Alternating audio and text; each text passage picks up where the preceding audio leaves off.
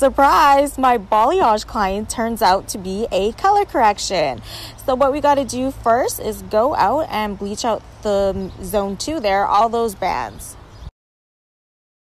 I started with 15 volume Blonde Me on her back quadrant and on my front right quadrant here I have bumped up my developer to 30 volume and as you can see I'm just feathering slightly onto her old previous lightened hair. It's been about half an hour now and I'm just going in and just seeing where my lightener is sitting at and it is doing great. So what I'm going to do now is go in with 15 volume and apply it to her root.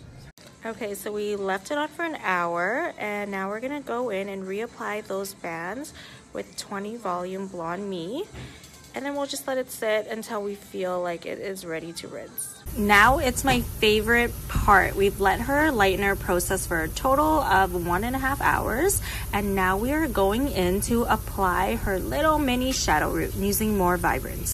I love using Igora Vibrance to do my shadow roots because it's a demi color, which means it's going to fade within a couple washes.